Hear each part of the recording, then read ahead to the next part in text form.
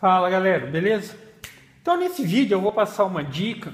Essa dica vale para quase tudo. É que é a questão de tipo quando dá algum problema no seu veículo, carro, seja carro, seja moto e tal, é, você leva para consertar e tal. Muitas vezes o valor varia muito em função da mão de obra. É, da mão de obra. Então você vai num lugar, eles passam preço 100, no outro 150, no outro 200. Daí algumas vezes tem que substituir peça, mas daí você se depara com a situação, é a mesma peça.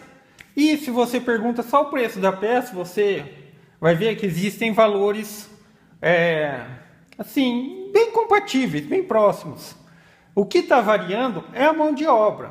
Em muitos casos, quando o problema é, no seu veículo acontece, você pode é, ajudar a reduzir esse custo dessa mão de obra.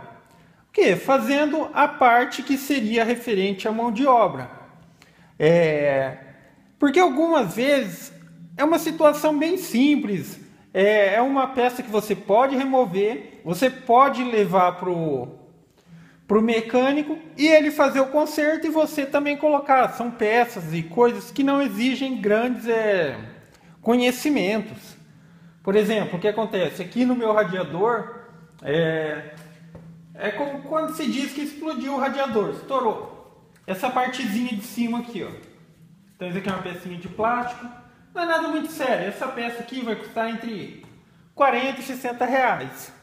Mas a mão de obra, os caras cobram quase 100 reais. Para fazer o quê? Para tirar o radiador, remover essa pecinha e colocar a nova no lugar. Quase 100 reais.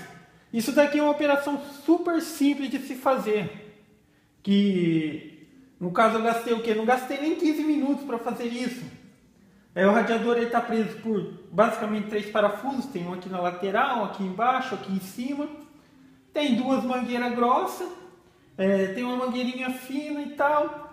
Não precisei mais do que, acho que umas quatro ferramentas só, desplugo aqui e removi o radiador. Agora eu só vou retirar o ventoinho e eu vou levar simplesmente a peça do radiador, essa de alumínio, juntamente com essa peça que é acoplada aqui.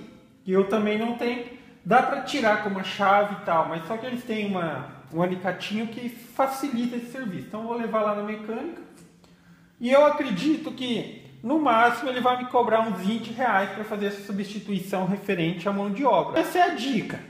Antes de levar uma mecânica e tal, verifica se não tem a possibilidade de você mesmo fazer. Não vá tipo também chegar e, e já soltando todas as peças do carro e tal.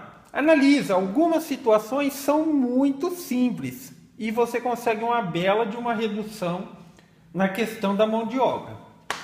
Então a dica era essa, pessoal. Gostou do vídeo? Dá um joinha, inscreve no canal que em breve estarei postando mais vídeos. Falou?